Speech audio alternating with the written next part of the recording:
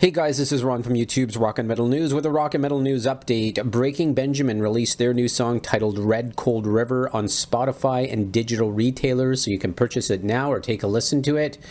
Uh, it's out January 5th, that song. It's the first track off their new upcoming album called Ember. Pre orders for the album start on January the 26th, and you can check in the description of this video to uh, purchase the song in the links. And uh, yeah, so stay tuned for the new Breaking Benjamin out in 2018. And uh, yeah, this should be uh, it's a great track, and it should be another great album. This is Ron from YouTube's Rock and Metal News. Thanks for tuning in.